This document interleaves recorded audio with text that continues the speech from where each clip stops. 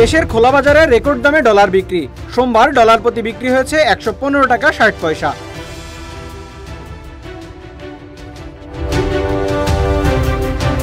নিষেধাজ্ঞা থাকার পরও যুক্তরাষ্ট্রের পুলিশ প্রধানদের সম্মেলনে বাংলাদেশের অংশগ্রহণের ব্যাপারে আশা প্রকাশ করেছেন পররাষ্ট্র সচিব।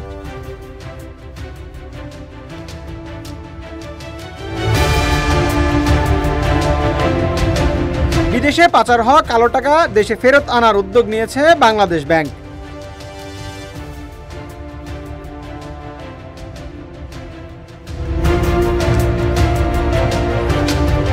শাহবাগে জ্বালানি তেলের দাম বৃদ্ধির প্রতিবাদে বিক্ষোভে সংঘর্ষের ঘটনায় বিশ থেকে তিরিশ জনকে আসামি করে পুলিশের মামলা।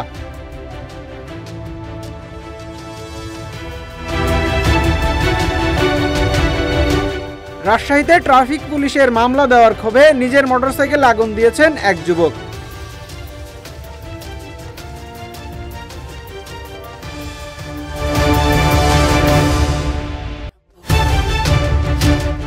বেট উইনারের সাথে চুক্তি বাতিলে সাকিব আল হাসানকে চিঠি দিয়েছে বাংলাদেশ ক্রিকেট বোর্ড বিসিবি।